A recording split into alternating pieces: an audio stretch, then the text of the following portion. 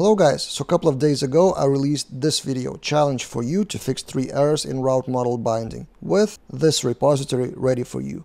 And you surprised me with 92 pull requests, it's a huge amount, I didn't expect that. And in this video I will explain the results, discuss your pull requests, and I thought it would be like two minutes of just discussing the correct results, but there's a lot of stuff to discuss, to show you about the pull requests themselves, various details about your answers, extra points to those of you who went extra mile and delivered something more than just the code solution. So, step by step about everything. So let's start with the correct answers. Although in development there is no such thing as one correct answer, there are multiple ways to do the same thing, but at least how I viewed the correct answer. So task number one was that view button doesn't work because it shows that class doesn't exist. So when you click view, the transaction class does not exist because in the controller so if we go to transaction controller, this show transaction doesn't exist. And even PHP Storm underlines that for me, which means that if I, for example, click back and put in transaction, PHP Storm offers me to import that transactional model here on the top. And then in the index, we don't need to load that anymore with full path. And then that view should work as expected. If we refresh that page, it works. So this was task number one, just importing the model. Task number two was about export button and it didn't work either and you should have seen something like this when you click that. So attempt to read property name on null and you can see that debugger shows that it's transaction username. So let's go to transactions export blade and we see that transaction user doesn't exist. But in fact, it's all transaction that is empty. And why is that? In transaction controller, the export is with route model binding with transaction. But if we take a look at the routes web, it's transactions, transactions, export. And I've made a typo intentionally here. A lot of you noticed that it should be transaction. So it should be singular thing, the same transaction name, the same variable name as this one. So it's a single transaction. Or for example, we may leave that as transactions here, but then transactions should be here and then transactions here. Let's actually do it the other way around. So all of you did it correctly, but I wanted to show you the other way. So what is the actual logic here? So if we put transactions everywhere, here in the export blade, in the transactions variable name, and in the routes web, then we refresh the page, and we get the correct page without any error. So it's not about singular or plural necessarily, it's about the same variable name here and here. And task number three was about different parameter UUID and assigning that to the transactions route model binding here. So by default, route model binding happens with ID field, and we didn't specify that in the routes web. So the correct answer, or there are actually two correct answers possible, and a lot of you mentioned that in your pull requests. So the first correct answer is to specify the field of transaction UUID, and another way is in transaction controller, in transaction model, in fact, specify public function get route key name, which should return UUID, but then that route model binding rule would be active for any transaction. So it would then touch this method, that method show, and anything else. But if you want to bound specific field only for the specific method, then you specify that in the routes web. So there are two ways to do that. So let's delete that get route key name. And one thing I want to show you here is why it sometimes works with 404 page and why it sometimes shows something. So let's roll it back so it would show error again, but it will be different errors. So in the list, if I click duplicate here, I get 404 not found. But for example, if I get to the ID 5, I get some data, but it's different data. It's ID 38, although I asked for ID with 5. Why it is so? Take a look at the URL. The first beginning of the URL parameter is number 38F. So the way it works, weirdly, it tries to convert that as a number, and the first numbers become 38. In this case of the first ID, the ID starts with a letter, so it's not number, there's no numeric to be parsed, and that's why it shows not found at all. So interesting behavior. So if you use your UUID and try to parse with ID, sometimes it may falsely work. And now it's time to talk about your pull requests. And you added a lot of value not only by fixing the task, but also your valuable comments and other additions. And first, I want to apologize for my own mistake, which was pointed in the YouTube and in some of your pull requests. On Windows, for some of you, Composer didn't work because I accidentally left one package, which is Laravel Horizon in the Composer JSON, which is not needed for this project. This project was created kind of stripping down another demo project, and I unintentionally left the Laravel Horizon, which wasn't needed.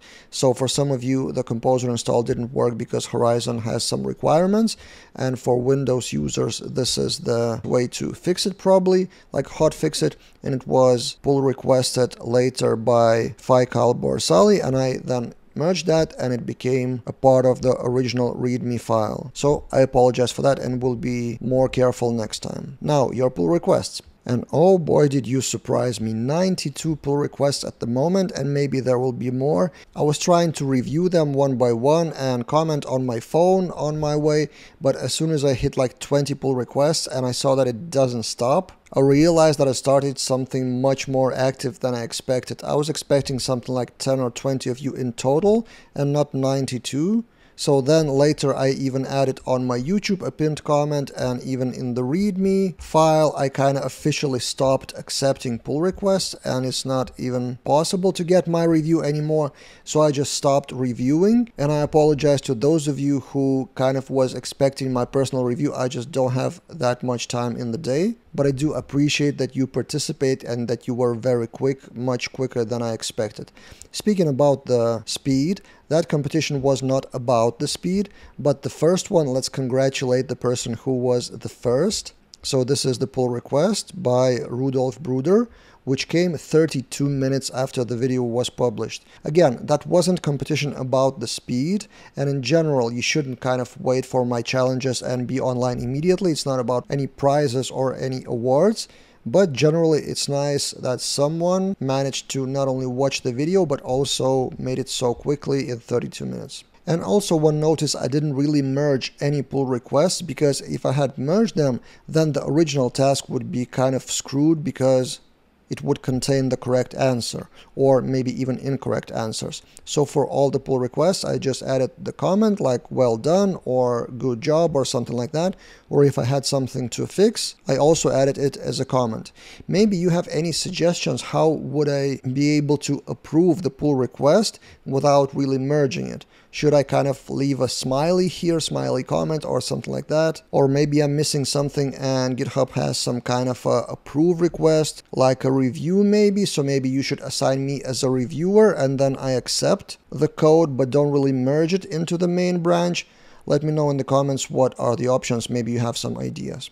And now it's time to give the extra points or extra thank yous, karma points to those of you who went some extra mile and did some extra steps. Extra points to those of you who added some readme or added some text explaining the solution. So Kingmaker added three points and explained what was changed and why. And even better, was by the same already mentioned Faikal Borsali. He added the readme, he implemented the readme change so file changed. In every task, he added the solution of details and summary. And it's not really visual here, but if on GitHub you click view file, then it parses the readme and then task one, let's scroll down, there is the solution and then it's not visible yet, but if you click here, the solution is explained here. So I didn't even know, to be honest, that it is possible on GitHub to do something like this. And this is the syntax again, so you can watch the pull request number 65. Again, I didn't merge it into the main branch because it contains the correct answer, but it is a great way for the future for me to think how to provide the correct answer inside of the same project. Also extra points to those of you who added automated tests, although again it wasn't part of the original test description, but here's the example of Archilex files changed and we find the example test here, the home page defaults to 302, which is redirect correctly, and then the transaction test, the feature test of DBC, the initial data, and then test individual transaction view should show. So get the route of transaction, assert that is 200, so assert there is no error. And also in another test, assert see of username and duplicate transaction also returns 200 and also returns the correct information. So check for the ID and UUID, which I mentioned previously in this video, that the page may return 200 instead of 404, but show incorrect data. So one example of the tests, and then another example with tests is by, not sure how to pronounce it, ipont or ipont. So files changed again, and we have some changes to the PHP unit XML, and then there's example test even deleted because it's not really relevant, and then transactions test made in a bit different way, so you can review the pull request of 57 ID, and this one is 20. So 20 and 57 are with tests with a bit different syntax and with a bit different expected assertions, so extra points to those of you who added the tests. And finally, a special thank you to the guy who kind of blew me away with his solution, not only completed the challenge with the fixes, but also shot the video of how he did it. And this is Justin, which I've reviewed his code on this channel a couple of months ago, and he is active on my Twitter, and we discuss random Laravel stuff there, and he shot the video on his channel response to Laravel Daily Route Model Binding Challenge. So 15 minutes of actually doing step by step, installing the project, fixing the bugs. So you may follow the Justin's channel even, or just follow him step by step, how he thinks about things, how he fixes it, and stuff like that. So thank you Justin for that extra effort, extra 15 minutes answering with the video to my video challenge. I guess that's it now. So what next? I will probably continue doing challenges because I see it's in demand. And of course, this challenge was really easy with just like a few lines of code to fix. So I will come up with more complex and interesting challenges, but it will come probably a bit later because not sure if you've seen on Twitter I have some family changes and I need some downtime for myself and the challenge would be a lot of time to prepare. And also I have a few ideas how to improve the challenges system for the next challenges and I need to prepare some code for that. So stay with me. In a couple of weeks time there will be another challenge. And again there will not be a competition for speed. So you don't have to be the first to answer but probably the first ones who submit their pull requests will be successfully reviewed by me personally. So like first 20 or so. So to get new challenges subscribe to the channel and hit the bell button to be notified of new videos. I publish them every morning at 5 a.m utc time or 8 a.m. my local Lithuanian time, and see you guys in other videos.